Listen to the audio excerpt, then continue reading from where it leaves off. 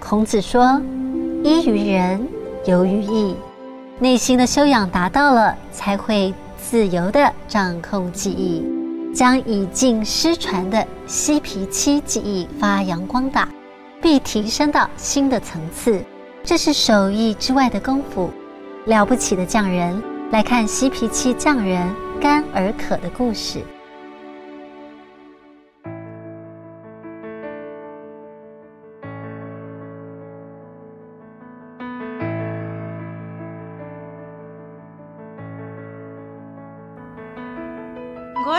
媳妇呀。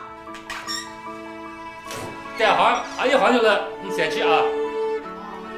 一九八三年，嗯，一九八三年，我是工艺厂的二级工。跟他谈谈恋爱的时候呢，他讲今后的钱从哪来呢？我说有十个朋友帮我忙。他说你哪来那么多朋友？我说就是这双手啊。我说财富都是手去创造的。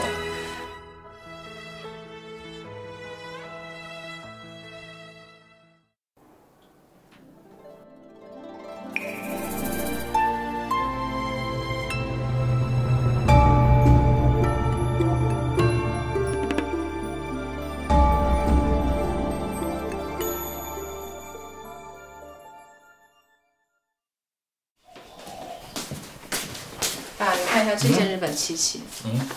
你看这边的日本漆器。嗯，这个应该是他那个叫蓬莱，蓬莱仙境那个图，一个厨子，一个局部。这个作者呢，应该是松田全六。这东西还是好，这个是典型的日本风格，不错的。其实他那东西非常的大气。只可惜只有日本才把我们中国唐代的漆器保存的这么好。而且这本书出的这么好，这么印刷这么精美，也是日本出的。哎，我们为什么说日本漆器好？不是不不是我们说好，是世界公认的好。日本国名呢叫 Japan，翻译过来呢就是漆器的意思。而中国漆器好不好呢？你可以说我们也是很好的，为什么加个也字？为什么不能把它去掉啊？中国是漆器的发源地，是母国。中国的漆器很博大精深，那个大气。中国漆器应该可以做好，必须要像一代一代人，像日本这种工艺师、这种艺人一样的做。心里暗暗的发愿：我做漆器，我就要做最好的漆器。一九九九年。为了做最好的漆器，四十五岁的甘尔可关掉了收入颇丰的古董店。在此之前，他经历了从漆器学徒、漆艺厂副厂长到古董商人的职海生涯，生活安逸富足。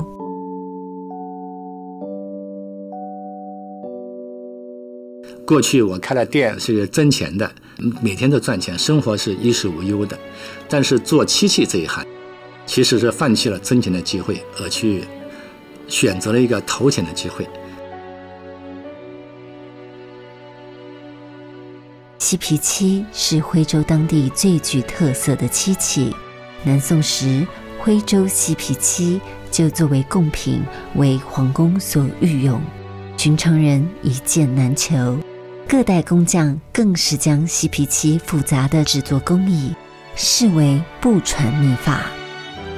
我没有走那种热门，没有追逐大家都很感兴趣的东西，反而去走一种别人很少人触及，也没有人在做这条路走起来非常刺激。我没有样本可以看啊，只是书上对它有些记载，只有很少的几个字，我也不知道这条路能否走通。选择很重要，就说一路走去，绝不回头。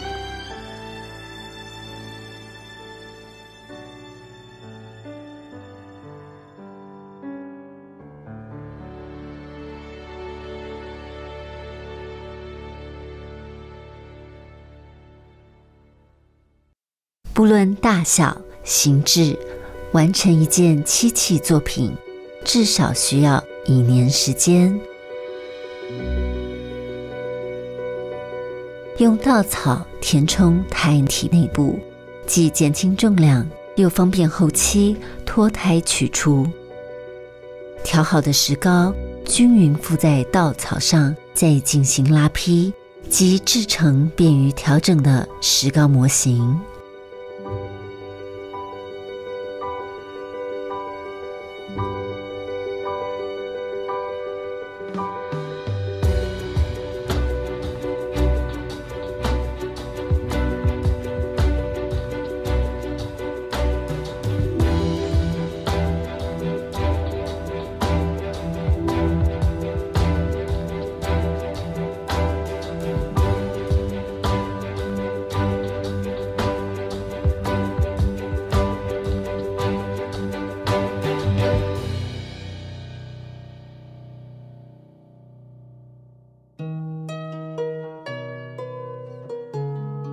石膏模做好以后，我们会摆在一个比较显眼的地方，我们就经常的去看它，不好我们会修改，但是都不是最终的决定。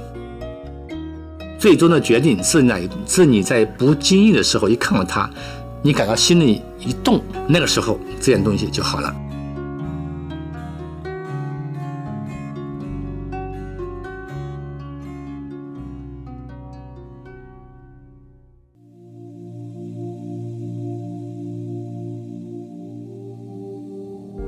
传统古瓦片烧制碾磨而成的粉末细腻纯净，与大漆调和后制成的漆灰粘性最强，有助于胎骨的稳固。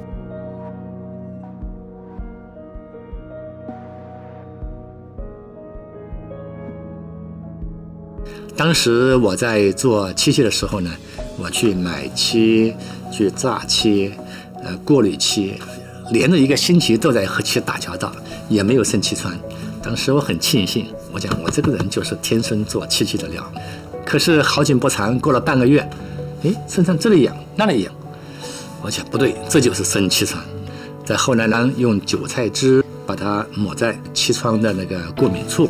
当时呢，医生涂的很多很难看。我女儿刚飞，她看了以后呢，看到就笑。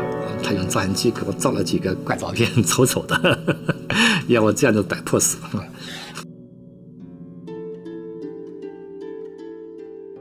最初隐居钻研的十年里，甘尔可除了吃饭睡觉就是干活，甚至一墙之隔的邻居也不知道他在干什么。方寸之间，漫长研究的枯燥，技法突破的困难，都在甘尔可乐观的心境前不值一提。我我记得有一回，可能我那时候只有十十六岁，他就从那里面端着一个东西走出来，好像很开心。它是一方豆绿色的七砂砚，当时我的同学也惊呆了。他说：“哇，这个干飞爸爸你做的这么好啊！”然后我爸就很得意，是吗？好吧。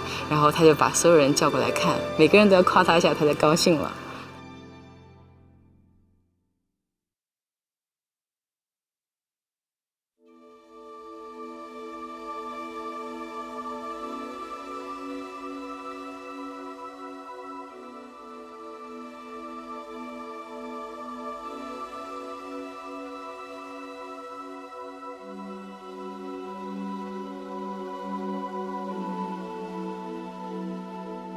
将漆灰一层层刷在石膏胎上，叫做坯灰。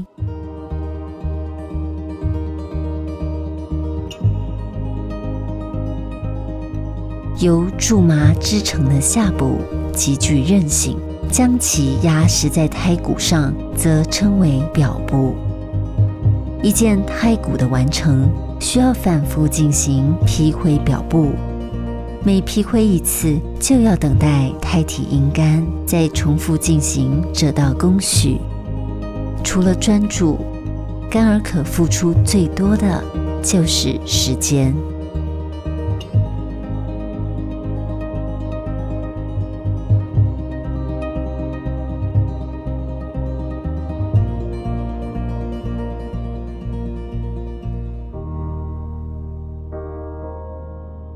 我们做这个胎骨呢，应该在器械里面，我们差不多花三分之一时间，在慢慢的积累，重复重复积累，每遍都要认真做，就是万丈高楼平地起。胎体不好，那你器械再好都没有用的，今后都会坏在这个胎骨上。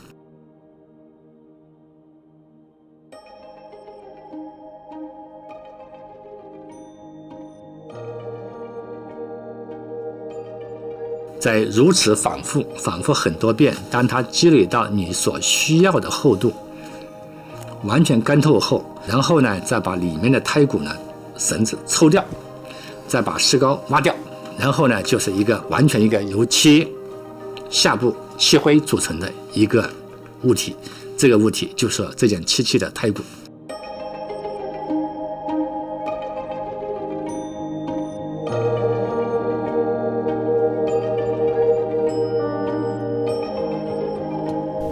这样耗时且工艺繁复的胎骨，可使用千年不腐。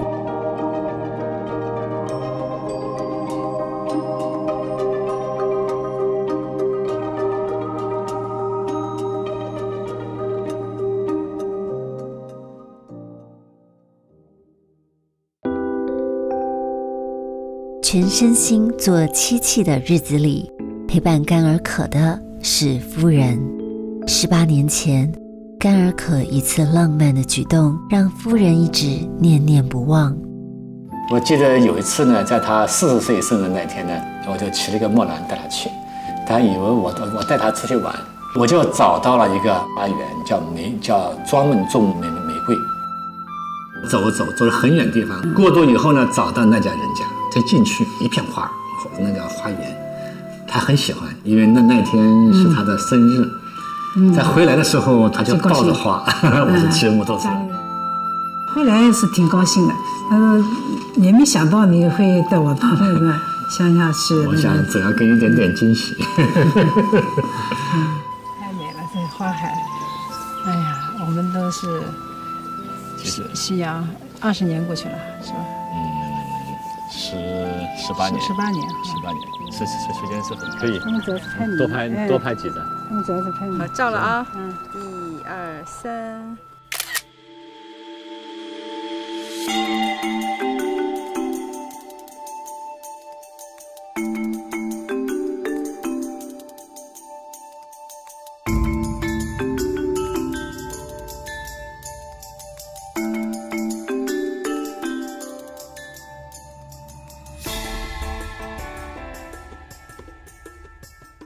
在胎骨上制作出的凹凸纹理叫做念，打念是制作嬉皮漆的关键。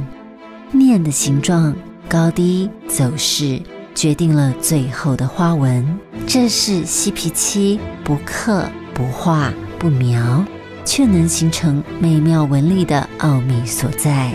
这一步动作看似轻松，却将许多学习嬉皮漆的人拒之门外。打念的时候要特别注意这个念的那种流动感，必须迅速的打在气那个胎骨上，打在气那个气形上。打好的念完全干透，就要刷上不同颜色的色漆。刷十五遍，漆层才有一毫米厚。传统的漆皮漆多用黄、赤、黑三色制作出的漆器，颜色沉闷。干尔可直接使用最明亮的金箔代替黄色色漆，自创出流金溢彩的金斑漆皮漆。那个漆层呢，应该在三十多遍、四十遍左右。它是每刷一遍漆就要阴干一次，取决于天气好、湿度、温度适合。漆有时候就不干，就跟你作对。你今天刷了，明天不干，后天不干，把你急死。呃，如果说这件漆器在前一遍没干的情况下，或者没有干透的情况下，你都绝对不能刷第二遍。哪怕是两天没干，你要等三天、五天没干，都要等它干透。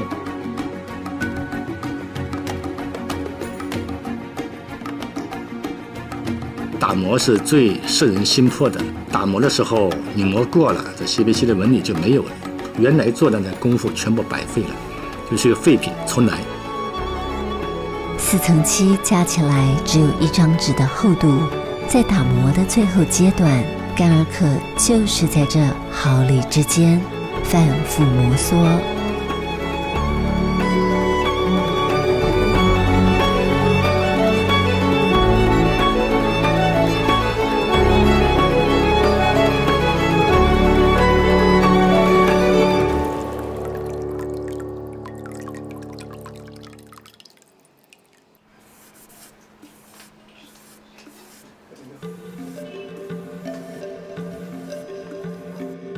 抛光的最后一步，甘而可坚持用手来做。他追求漆面光可见人，不允许有任何划痕。这种光亮感，过去的漆器从未出现过。我也会认一个死理，我觉得这个事要想做成的，在他人看来是不可能，但是我想只要方法对头，是可能的。呃，过去的漆器呢，里面呢，它不会抛光的很亮的。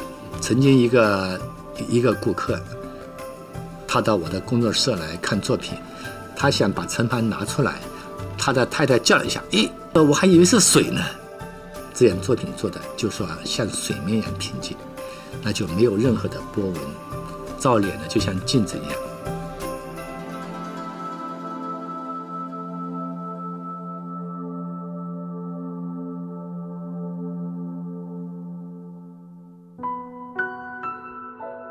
从反复尝试到恢复嬉皮漆工艺，做出第一件满意的作品，甘尔可用了十年。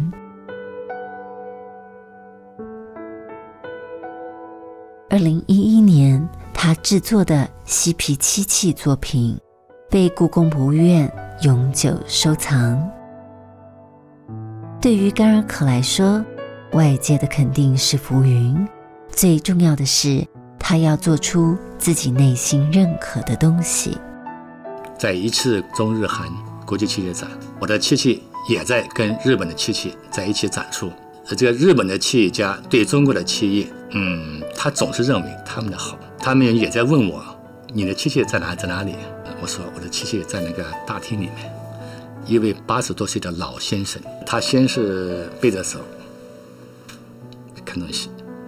再然后呢，把手摆前面，再看东西；再然后呢，蹲蹲在地下，看你的细微处，看的时间很长。他然后出来跟我握手，大拇指一伸。当时我就是一种自豪感，这么多年辛苦没有白费。不是说他说我好就好，我是真正对得起我自己的良心的。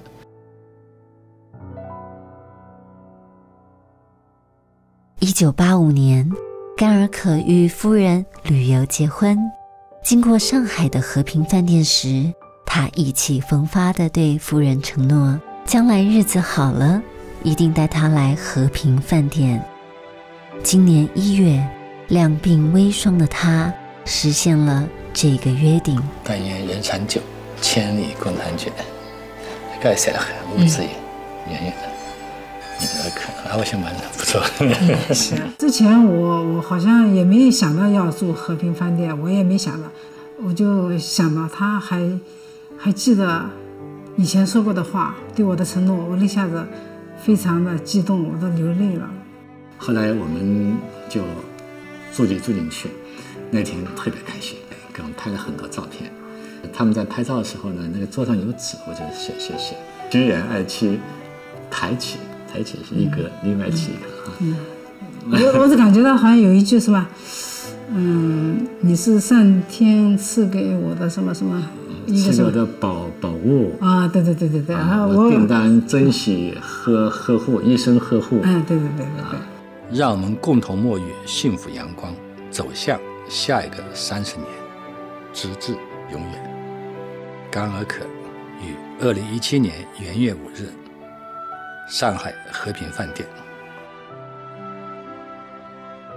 年少时对夫人青涩的承诺，甘尔可已经实现了。对自己的承诺，他也从未忘记过。为认定的人与物倾注一生，甘尔可用行动践行着一位匠人心中最浪漫的事。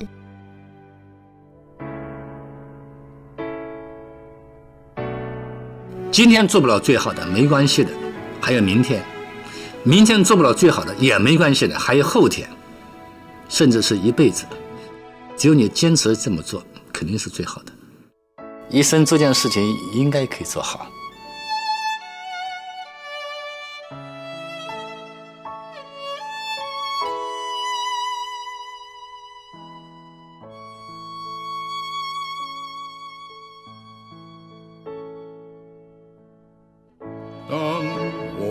守护地，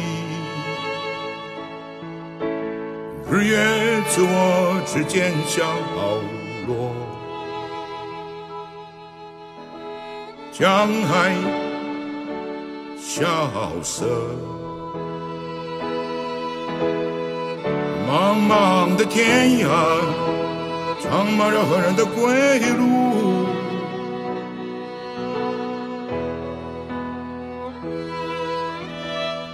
天涯无涯，我是跨越无涯的一则传说。